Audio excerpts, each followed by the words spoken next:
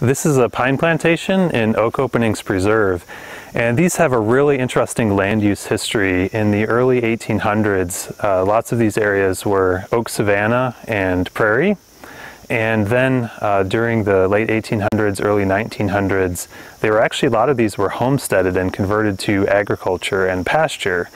And during the Great Depression in the 1930s, many of these areas were, these farms were then abandoned. And the land practice at that time was to convert, uh, kind of stabilize these eroding soils by establishing pine plantations. And so when the Metro Parks was buying the, the land, uh, the, these areas were converted to pines. And there are actually no pines that are native to the oak openings region. This is a, an incredible, uh, globally important uh, region that we're in right now. And so the original intent was to manage these plantations, actually periodically thin out the trees. Uh, that actually did not happen. These were um, uh, maintained uh, without management for about 60 years. And what happened is a lot of these trees started to die and kind of collapse in on each other because they had not been thinned and so they were not healthy trees. And again, they're not actually native to this uh, particular region. So the metro parks uh, began thinning these areas in the early 2000s, and uh, because the area that we're in now has, very it's habitat for some species, but it really is not meeting the oak savanna and prairie uh, goals uh, of this area that really makes this area special. So the biodiversity here is, is quite low.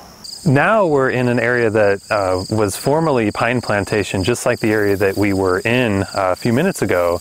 And this area that we're in now was uh, thinned and had the pines then fully removed uh, by the Toledo Metro Parks in 2000 and 2001.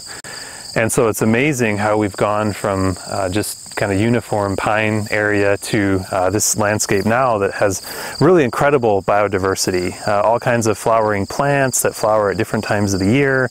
We've also found through our monitoring that about 60% of these former pine plantation areas have Ohio state listed rare plant species, and none of the uh, intact plantations do.